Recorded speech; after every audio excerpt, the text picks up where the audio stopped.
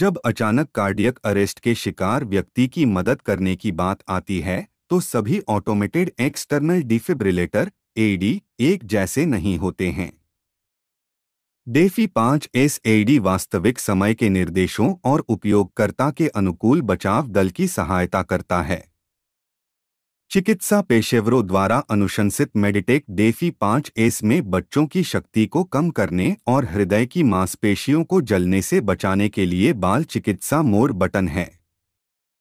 LED संकेतक निर्देशों का पालन करने में मदद करते हैं।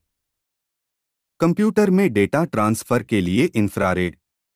चुनने के लिए दो भाषाएँ। पाँच वॉल्यूम स्तर ताकि आप आवाज़ को स्पष्ट रूप से सुन सकें और कहीं भी डिवाइस का उपयोग कर सकें। एडी उपयोग के लिए तैयार है या नहीं, यह निर्धारित करने में आपकी मदद करने के लिए डेफी पाँच एस में दैनिक, साप्ताहिक और मासिक स्वपरीक्षण है। यह एक एडी कैरी बैग के साथ आता है, जो आपको डिवाइस को बाहर निकाले बिना उपयोग करने की अनुमति देता है।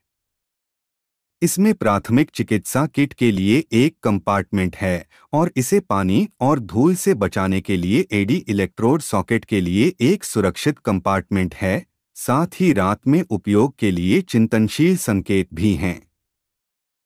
एक कंप्यूटर सॉफ्टवेयर डेफी सॉफ्ट जो डिवाइस के साथ आता है, स्थिति की जानकारी प्रदर्शित करता है, जिसे डेफी पाँच एस के उपयोग के दौरान एक्सेस किया जा सकता है। जैसे कि घटना का समय, विवरण और रोगी का इलेक्ट्रोकार्डियोग्राम कंप्यूटर सॉफ्टवेयर के माध्यम से संकेतों की भाषा और वॉल्यूम को भी बदला जा सकता है।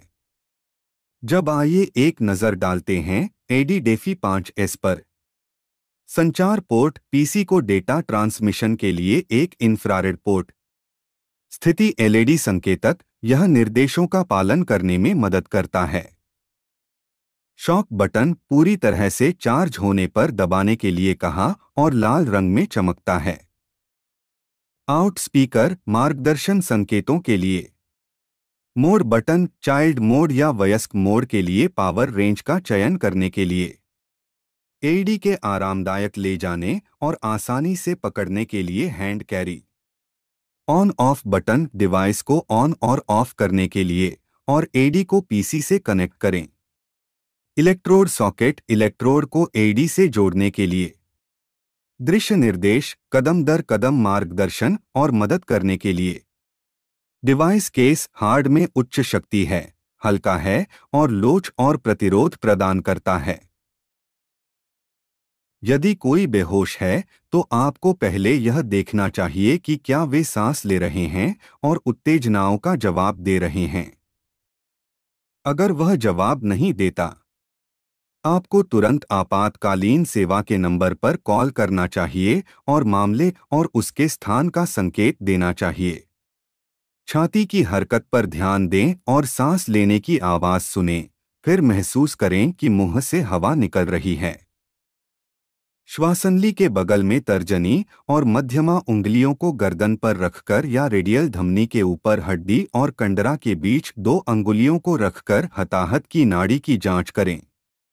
जितनी जल्दी हो सके सीपीआर शुरू करें, क्योंकि 10 मिनट के बाद मस्तिष्क क्षति अपरिवर्तनीय है, और आप जानते हैं कि पीड़ित को बचाना वास्तव में आपके हाथ में है। सीपीआर के दौरान खून चलने में थोड़ा समय लगता है। इसलिए मस्तिष्क में रक्त प्रवाहित करने के लिए दबाव बढ़ाने के लिए ज़ोर से और तेज़ी से धक्का देना बहुत ज़रूरी है। हृदय को संकुचित करने के लिए कम से कम पाँच सेंटीमीटर गहरा धक्का दें और रक्त को बाहर निकलने दें। रक्त प्रवाह को बनाए रखने के लिए प्रति मिनट 100 से 120 बार का दबाव आवश्यक है। आकस्मिक को बचाने के लिए दो साँसें तैयार करें। पहली सांस को एक सेकंड के लिए रोककर देखें कि छाती ऊपर उठती है या नहीं। अगर छाती ऊपर उठती है तो दूसरी सांस दें। यदि छाती नहीं उठती है तो सिर को झुकाएँ और ठुड्डी को ऊपर उठाएँ, फिर दूसरी सांस दें। एक चक्र में 30 चेस्ट कंप्रेशन होते हैं और उसके बाद वेंटिलेशन के दो चक्र होते हैं। सावधान रहें कि बहुत अधिक साँसें न लें या बहुत अधिक सांस न लें। रक्त प्रवाह को बहाल करने के लिए छाती को संकुचित करना जारी रखें। छाती के 30 संकुचन और उसके बाद दो संवातन। डेफी पाँच एस के चालू होने के बाद, यह आवाज़ के संकेतों का पालन करके बात करना शुरू कर देगा। आपको वयस्क या बाल रोग के लिए मोड का चयन करना होगा। आपको प्लास्टिक शीट पर दिखाए गए अनुसार पैड को रोगी के नंगे सीने पर रखने का निर्देश दिया जाएगा। तब आपको निर्देश दिया जाएगा कि रोगी से दूर रहें और उसे स्पर्श न करें, जबकि डेफी पाँच एस हृदय की लय का विश्लेषण करता है। रोगी के सीने से कपड़े उतारें। इलेक्ट्रोड की पैकेजिंग खोलें। सुरक्षात्मक फ़िल्म से इलेक्ट्रोड निकालें। यदि पीड़ित वयस्क है। इलेक्ट्रोड को ऊपरी दाएँ छाती और निचले बाएँ छाती पर रखें। बच्चे पर इलेक्ट्रोड संलग्न करने के दो तरीके हैं। अगर बच्चे का शरीर बड़ा है, इलेक्ट्रोड को वयस्क स्थान पर रखें, यदि दो इलेक्ट्रोड स्पर्श नहीं कर रहे हैं। अगर बच्चे का शरीर छोटा है, एक पैड छाती के बीच में और दूसरा पीठ पर रखें, यदि रोगी का शरीर छोटा है और दो इलेक्ट्रोड स्पर्श कर रहे हैं।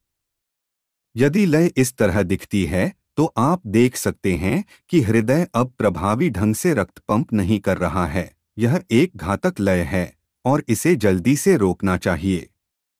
जब डेफी पाँच एस स्वचालित डिफाइब्रिलेटर दिल की लय का विश्लेषण करता है, और इस निष्कर्ष पर पहुँचता है तो यह आपको वॉयस कमांड द्वारा रेड शॉक बटन दबाने के लिए प्रेरित करेगा। डेफी पाँच एस डिवाइस दिल के माध्यम से एक विद्युत प्रवाह भेजता है और फिर से वापस आ जाता है। सदमे का उद्देश्य बहुत ही कम समय के लिए असंगठित हृदय ताल को पूरी तरह से रोकना और इसे सामान्य स्थिति में लौटने का मौका देना है। अपना सर्वश्रेष्ठ करें और हार न मानें। देफी पाँच अस्वचालित बाहरी डिफिब्रिलेटर आपको किसी की जान बचाने का अवसर देता है। डेफी सॉफ्ट डेफी सॉफ्ट एक कंप्यूटर सॉफ्टवेयर है, जो इंफ्रारेड के माध्यम से भेजे गए डेटा के स्वागत का समर्थन करता है। इलेक्ट्रोकार्डियोग्राफ तरंगों को पढ़ना डेफी पाँच एस की भाषा और आवाज़ की मात्रा निर्धारित करना और रिकॉर्डिंग डेटा को सहेजना। ऑन्फ बटन को लंबे समय तक दबाने से इंफ्रारेड सेंसर चालू हो जाता है। डेफी सॉफ्ट की भाषा चुनने के बाद डिवाइस का सीरियल नंबर दर्ज करें और डेफी सॉफ्ट के डेटा सिस्टम को सक्रिय करने के लिए ऑन बटन को देर तक दबाएँ। डेफी सॉफ्ट डेफी पाँच एस के संचालन के दौरान दर्ज की गई स्थिति की जानकारी प्रदर्शित करेगा, जिसमें प्रकार, घटना का समय, विवरण और इलेक्ट्रोकार्डियोग्राफ तरंगे शामिल हैं इलेक्ट्रोकार्डियोग्राफ तरंग लाभ 5 मिमी 10 मिमी या 20 मिमी पर सेट किया जा सकता है। तरंग की गति 12.5 मिमी 25 मिमी और 50 मिमी पर सेट की जा सकती है। आप डेटा को प्रिंट और सहेज भी सकते हैं।